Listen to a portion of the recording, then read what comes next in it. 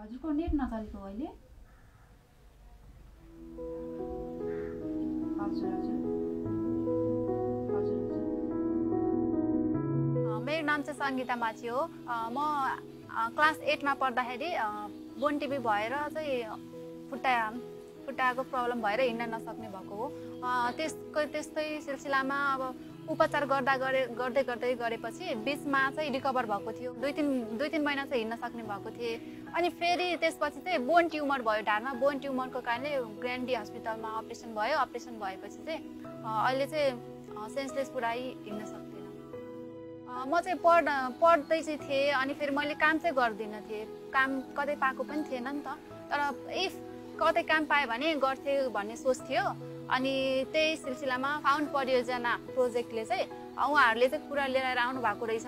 अनि उहाँहरूले चाहिँ त्यो सुक्सु कल सेन्टरमा अब कामको लागि कर्मचारीहरू चाहियो भन्ने कुरा गर्नुभयो। अनि उहाँहरूको उहाँहरूद्वारा नै मैले चाहिँ अब आफ्नो सिबीहरू पठाएर सुबिसु कल सेन्टरबाट पनि उताको सरहरूले हामीलाई अब इन्टरभ्यू लिनुभयो। इन्टरभ्यू लिएपछि अनि ट्रेनिङ भयो। ट्रेनिङ भएपछि ट्रेनिङमा पास भएपछि एक्जाम ट्रेनिङमा पास भएँ भएपछि अनि उहाँले काम दिनुभयो। फर्स्ट फर्स्टमा चाहिँ एकदमै डर लाग्थ्यो। अब कल सेन्टरमा भनेपछि त कुरा गर्न फेरि मासमा कुरा गर्ने बानी नै थिएन झन् अनि एकदम डर लाग्थ्यो। अनि ट्रेनिङमा अलिअलि सिकेको थियौँ अनि पछि पछि गर्दा गर्दै जाँदा त सजिलो हुन्थ्यो। हामीले चाहिँ उहाँहरूबाट चाहिँ धेरै हाई एक्सपेक्टेसन गरेको थिएन। The only thing that we wanted was they were able to communicate they were able to understand तर इन्टरभ्यूमा आउँदाखेरि जुन लेभलमा इन्टरभ्यूहरू हामीले अराउन्ड नाइनबाट स्टार्ट गऱ्यौँ and then we came down to six र त्यो रुटमा चाहिँ हामीले जुन चाहिँ हेऱ्यौँ we were very surprise to see that physically challenge मान्छेहरूमा जुन चाहिँ जोस जुन चाहिँ जाँगर र they wanted to do they want to prove something in life र उहाँहरूलाई पनि मैले के भने you have gone through so bad होइन? यो ट्रेनिङले चाहिँ फेज आउट गर्नु भएन। तपाईँहरू लाइफको च्यालेन्जलाई नै फेस गरेर यसरी आउनु भएको छ भने हाम्रो ट्रेनिङ भनेको it's a piece of cake भयो अँ, चुनौतीहरू छ धेरै नै छ। अब हामी त धेरै अब हामीलाई त धेरै समस्याहरू आइपर्छ नि त दिसा पिसाब थाहा हुँदैन अनि धेरै बसिरह्यो भने बेडसोर हुने सम्भावना हुन्छ।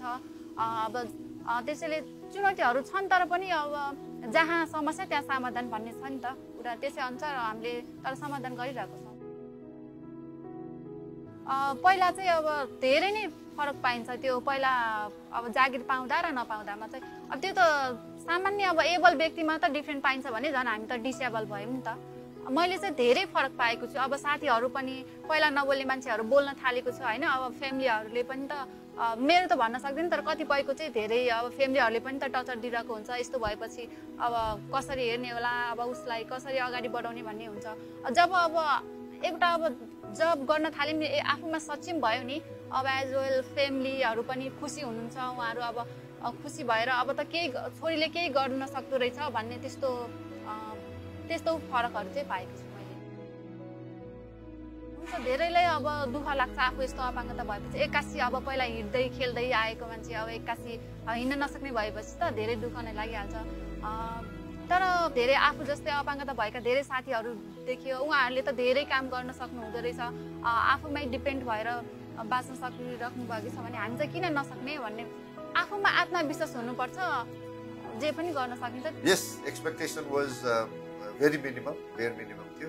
तर what I found after the interview was and what they are doing now has exceeded our expectation होइन and let's hope that this expectation keeps on going तर त्यसमा हामीले उहाँहरूलाई सर्टन हडल्सहरू डेफिनेटली आउँछ अ, त्यसमा हामी कसरी हेल्प गर्ने भन्ने कुरामा चाहिँ हामी definitely will work out and make sure that they stick in the job because उहाँहरूको एउटा चाहिँ लाइफस्टाइलमा चेन्जेस ल्याउनेमा I think Subisu will make a difference and they will make a difference on our organization.